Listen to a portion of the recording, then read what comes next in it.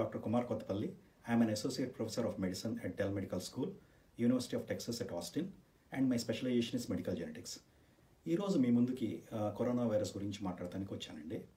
ఈ కరోనా వైరస్ని world health organisation covid nineteen అని డిజిగ్నేట్ చేసింది. మనందరికీ ఈ కోవిడ్ నైన్టీన్ అంటే కరోనా వైరస్ ఎక్కడి నుంచి వచ్చింది అని చాలామంది క్వశ్చన్స్ ఉన్నాయి. ఇప్పుడు మన వాట్సాప్ గ్రూప్స్ చూసుకుంటే వీడియోస్ వస్తున్నాయి. మన గబిలాల నుంచి కానీ అంటే బ్యాట్స్ నుంచి ఈ హ్యూమన్కి ట్రాన్స్మిట్ అయిందని చాలామంది వీడియోస్ పంపిస్తున్నారు. అది ట్రూ కాదండి. ఇప్పుడు ఈ bats only primary host or reservoirs అంటమాట. Bats నుంచి హ్యూమన్కి ట్రాన్స్మిషన్ జరగలేదు.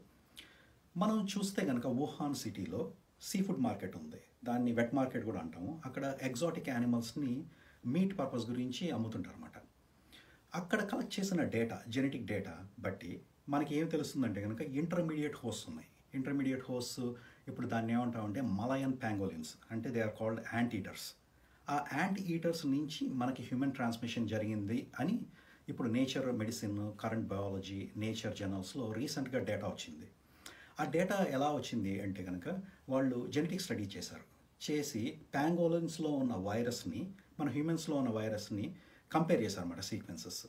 ఇప్పుడు మన హ్యూమన్లో ఈ కరోనా వైరస్కి రిసెప్టార్ బైండింగ్ డొమైన్ అని ఒకటి ఉంది. దాంట్లో సిక్స్ అమన్ యాసిడ్ రెసిడ్యూస్ బట్టి అది ప్యాంగోలిన్స్ని వచ్చింది అని నేచర్ మెడిసిన్ పబ్లికేషన్లో ఒక ఆర్టికల్ వచ్చిందన్నమాట.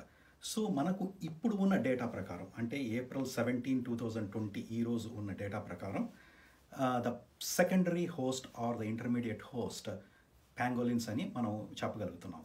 ఈ కరోనా వైరస్ మన హ్యూమన్ బాడీలోకి ఎలా ఎంటర్ అవుతుందంటే మన హ్యూమన్ బాడీలో ఏస్ టూ అనే జీన్ ఒకటి ఉంది. దాన్ని ఏమంటామంటే యాంజియోటెన్సిన్ కన్వర్టింగ్ ఎంజైమ్ టూ ఈ కరోనా వైరస్కి స్పైక్ ప్రోటీన్ ఒకటి ఉంది.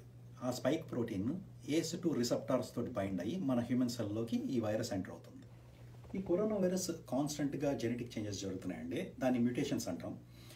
ఈ మ్యూటేషన్స్ ట్రాక్ చేస్తానికి నెక్స్ట్ స్ట్రెయిన్ అనే ఒక వెబ్సైట్ ఉంది యూఎస్లో so what this website is doing is it's tracking all the mutations which are happening in this virus throughout the the world ఈ వెబ్సైట్లో మన డేటా చూస్తే ఈ వైరస్ ఎవ్రీ ఫిఫ్టీన్ డేస్కి ఒకసారి మ్యూటేట్ అవుతున్నట్టు మనకి తెలుస్తుంది అనమాట ఈ మ్యూటేషన్స్ ట్రాక్ చేస్తాం వలన we can learn lot of things అంటే ఇప్పుడు కొంతమంది కాన్సెప్ట్స్ ఏంటంటే కనుక ఈ వైరస్ కానీ ఎక్కువగా మ్యూటేట్ అయ్యి వైర్లెంట్ ఫామ్ కింద మారచ్చేమో అన్న కాన్సెప్ట్ ఒకటి ఉంది. సో ఇప్పుడు మనం ఈ మ్యూటేషన్స్ ట్రాక్ చేస్తాం వలన we will know how this virus behaves in future అన్నమాట.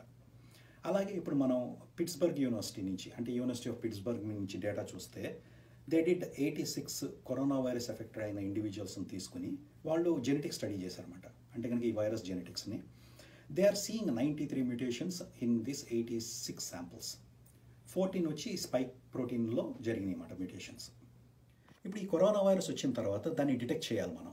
ఆ డిటెక్ట్ చేయాలి అంటే కనుక మనకి ఏంటంటే కనుక డయాగ్నోస్టిక్ టెస్ట్ కావాలి. ఆ డయాగ్నోస్టిక్ టెస్ట్కి మనకేం జరిగిందంటే కనుక జనవరి ట్వెల్త్ చైనీస్ సైంటిస్ట్ డబ్ల్యూహెచ్ఓకి ఈ వైరస్ జెనెటిక్ మెటీరియల్ని కంప్లీట్గా సీక్వెన్స్ చేసి డబ్ల్యూహెచ్ఓకి ఇచ్చారు. ఆ డబ్ల్యూహెచ్ఓకి జనవరి ట్వెల్త్ ఇచ్చిన తర్వాత they started to develop diagnostic testing ఈ డయాగ్నోస్టిక్ టెస్టింగ్ని ఎట్లా చేశారంటే కనుక దాన్ని ఆర్టీపీసీఆర్ అంటాం. ఆర్టీపీసీఆర్ అంటే reverse transcriptase PCR polymerase chain reaction ఈ మెథడాలజీ వల్ల ఇనీషియల్గా టెస్ట్ జరిగినాయి. Then we came to identify the positive patients ఇప్పుడు కొన్ని కంట్రీస్ చాలా ర్యాపిడ్గా చేసినాయి ఈ టెస్ట్ని ఇప్పుడు మనం చూసుకుంటే South Korea they did mass screening twenty thousand test per day so మనకేంటంటే ఇనీషియల్గా సౌత్ కొరియాలో ఈ కరోనా వైరస్ కేసెస్ చాలా ర్యాపిడ్గా ఇంక్రీజ్ అయినా they could control it very easily because they tested their population very well ఇప్పుడు అలాగే తీసుకుంటే ఈ ప్రపంచం మొత్తంలో ఆర్టీపీసీఆర్ టెస్ట్ చాలా పాపులర్ అయినాయి. అలాగే మనకి ఏంటంటే కనుక ఇంకోటి ఒక country Iceland example.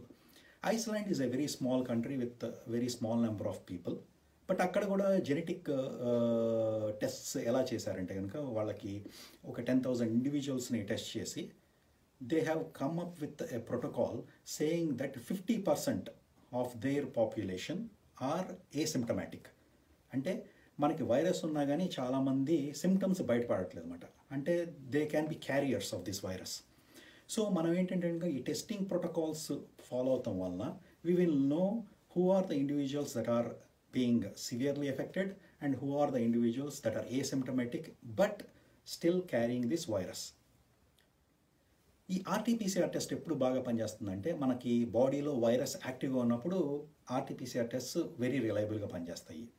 మనకి రీసెంట్గా యాంటీబాడీ టెస్ట్ వచ్చినాయి. యాంటీబాడీ టెస్ట్ అంటే మనకి ఇన్ఫెక్ట్ అయ్యి మనం రికవర్ అయిన తర్వాత మన బాడీలో యాంటీబాడీస్ ఫామ్ అవుతాయి. సో మనకేంటంటే వన్స్ యాంటీబాడీస్ ఫామ్ అయిన తర్వాత ఈ antibodies test will be very effective why because we will know who are the individuals that are asymptomatic but already generated antibodies to this virus అప్పుడు ఏంటంటే ఈ social డిస్టెన్సింగ్ని మనం ఆపటానికి control చేస్తానికి ఈ యాంటీబాడీ టెస్ట్ బాగా యూజ్ అవుతుంది. But some data is showing like you know the effectiveness of this antibody test depends upon how we validate this antibody kits ఇప్పుడు RTPCR kits కూడా ఇనీషియల్గా చాలా వచ్చినాయి. వ్యాలిడేషన్ అయిన తర్వాతే మనం ఏ కిట్ అన్నా కానీ అది బాగా పనిచేస్తుందా లేదా అని చెప్పగలం అన్నమాట అలాగే ఇప్పుడు యాంటీబాడీ టెస్ట్ కూడా మనం లాట్ ఆఫ్ పీపుల్ మీద టెస్ట్ చేసి కానీ ఈ టెస్ట్ డయాగ్నోస్టిక్ టెస్ట్ ఎఫెక్టివ్ అని మనం చెప్పలేము. ఇప్పుడు మనందరికీ ఈ కరోనా వైరస్ వచ్చిన తర్వాత వ్యాక్సిన్స్ ఎప్పుడు వస్తాయి అనే క్యూరియాసిటీ చాలామందిలో ఉందన్నమాట. సో మనకి కన్వెన్షనల్ కైండ్ ఆఫ్ వ్యాక్సిన్స్ రావాలి అంటే కనుక టూ టు ఫోర్ ఇయర్స్ పడుతుంది. దానికి మనకి ఏంటంటే ప్రీ క్లినికల్ స్టడీస్ అంటాం. అంటే యానిమల్స్లో ఫస్ట్ టెస్ట్ చేయాలి.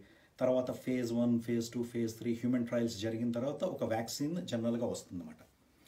బట్ నౌ ఇప్పుడు ఏంటంటే ఈ వైరస్ పాండమిక్ అయిపోయి వరల్డ్ వైడ్ ఎఫెక్ట్ అవుతాం వలన న్యూ టెక్నాలజీస్ uh, మీద మనం డిపెండ్ అవుతున్నాము. ఇప్పుడు టూ కంపెనీస్ యుఎస్లో ఫేజ్ వన్ ట్రయల్స్కి వెళ్ళినాయండి. సో ద ఫస్ట్ కంపెనీ ఏంటంటే దాన్ని కంపెనీ పేరు మోడర్న్ ఎంఆర్ఎన్ఏ టెక్నాలజీ అంటే మెసెంజర్ ఆర్ఎన్ఏ టెక్నాలజీ. మనకి ఏంటంటే కనుక ఈ Moderna company and National Institutes of Health యుఎస్లో కొలాబరేట్ అయ్యి ఒక first phase one trial March sixteenth సియాటల్లో ఒక ఇండివిజువల్ మీద ట్రై చేశారు. So first phase one trial testing ఎందుకంటే we want to see like if this mRNA is making any immune responses తర్వాత first forty five individuals మీద phase one trial try చేద్దాం అనుకున్నారు. One individual అయ్యింది.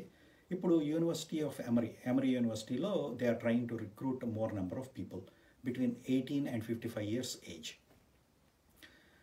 first phase one అవగానే ఇప్పుడు modern technology పీపుల్కి బార్డా అని ఒక ఆర్గనైజేషన్ నుంచి ఫండింగ్ వచ్చింది. They are trying to go for phase two trial also. ఇప్పుడు ఎన్ఐహెచ్ వాళ్ళ సైంటిస్ట్ కొన్ని ఇంటర్వ్యూస్ ఇచ్చారు.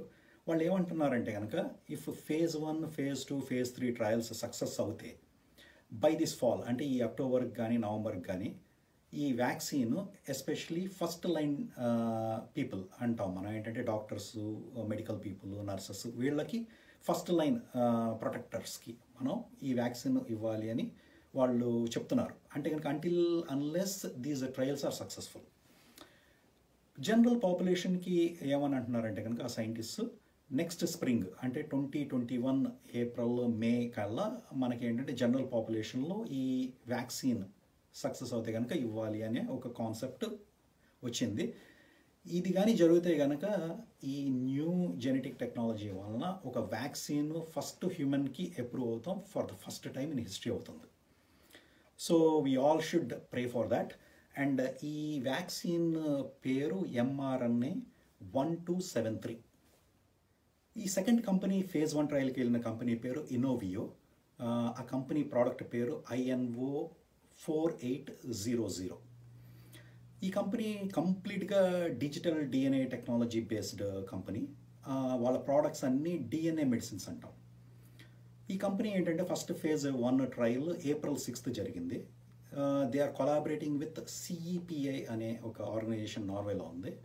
అండ్ దెన్ వాళ్ళ ప్రోడక్ట్ హ్యూమన్లోకి ఇంజెక్ట్ చేస్తానికి ఒక వాళ్ళ సెపరేట్ ఇన్స్ట్రుమెంట్ ఉంది. దాని పేరు సెలెక్ట్రా అంటాము.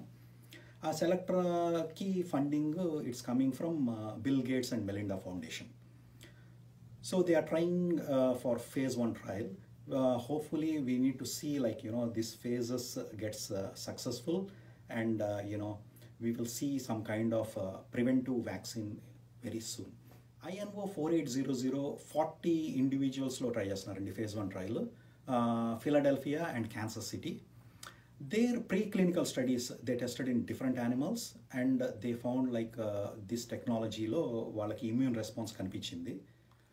ఇప్పుడు అందరికీ ఒక క్యూరియాసిటీ ఏంటంటే ఈ కరోనా వైరస్ ట్రీట్మెంట్ ఎలాగా? దానికి ఏంటంటే కనుక ఇనీషియల్గా గిలియాడ్ అనే కంపెనీ వాళ్ళకి ఒక యాంటీవైరల్ డ్రగ్ ఉంది రెమ్డిజవీర్ అని. దాన్ని ఏంటంటే ఎబోలా వైరస్కి తయారు చేశారు. సో వాళ్ళు ఏం చేశారంటే కనుక దీన్ని ఎక్స్పెరిమెంటల్ థెరపీ కింద చైనాలో ట్రై చేశారన్నమాట. అలాగే they have spa now sponsoring lot of clinical trials at different places yesterday April sixteenth university of Chicago నుంచి ఒక డేటా అంటే ఇంకా పీర్ రివ్యూ పబ్లికేషన్ జరగలేదు. Partial data it came up in to some electronic media in US what they are saying is this remdesivir ఇచ్చినప్పుడు చాలామంది patients recovery ఫాస్ట్గా జరుగుతుంది. But this has to be published in a journal అండి. అలాగే మనకి తీసుకుంటే కనుక హైడ్రాక్సిక్లోరోక్విన్ అంటే యాంటీ మలేరియల్ డ్రగ్ కూడా బాగా ఎఫెక్టివ్గా పనిచేస్తుందని ఫ్రెంచ్ డేటా వచ్చింది. We're also trying in US and different parts of ఇండియాలో కూడా ట్రై చేస్తున్నారు. But Indian Heart Rhythm Society Aditya Kapoor and Anil Saxena group they have given a statement అండి. Especially hydroxychloroquine ఇచ్చేటప్పుడు we need to see who are having inherited arrhythmias అంటే heart rhythm problems అన్నమాట especially inherited or hereditary arrhythmias ఉన్న conditions ఏంటంటే ఈ Brugada syndrome short QT long QT and CPVT syndromes ఈ syndromes ఉన్న పేషెంట్స్లో కేర్ఫుల్గా మనం ఈ హైడ్రాక్సిక్లోరోక్విన్ ఇచ్చేటప్పుడు మానిటర్ చేయాలి. లేకపోతే వీళ్ళల్లో some people heart arrhythmia disturbance వచ్చే డేటా కూడా మనకి వస్తున్న నేపథ్యంలో మనకి ఆ కేర్ఫుల్నెస్ ఉండాలి అని వాళ్ళు ఒక స్టేట్మెంట్ పాస్ చేశారు. రీసెంట్గా April thirteenth two thousand twenty USFDA కొన్ని గైడ్లైన్స్ పాస్ చేసింది for investigational convalescent plasma therapy for corona virus ఈ థెరపీకి మేయో క్లినిక్ రోచెస్టర్ మినిసోటాలో ఉంది.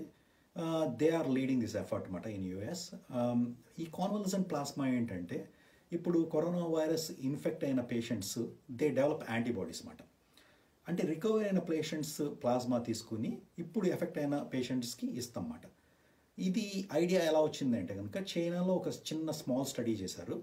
వాళ్ళల్లో ఏంటంటే ఈ కాన్వలసెంట్ ప్లాస్మా ఇస్తాం వలన రికవరీ జరిగిందన్నమాట పేషెంట్స్లో ఫ్యూ పేషెంట్స్ దాని బేస్ మీద ఈ థెరపీ మన యుఎస్లో కూడా జరుగుతుంది. అలాగే ఇండియాలో కూడా Indian Council of Medical Research is forming guidelines డెఫినెట్గా ఇండియాలో కూడా ఈ కాన్వలజెంట్ ప్లాస్మా థెరపీకి కృషి జరుగుతుందని ఆశిస్తూ నేను సెలవు తీసుకుంటున్నాను. Thank you so much. Thanks for watching Ratnam media for more videos please do like share and comment don't forget to subscribe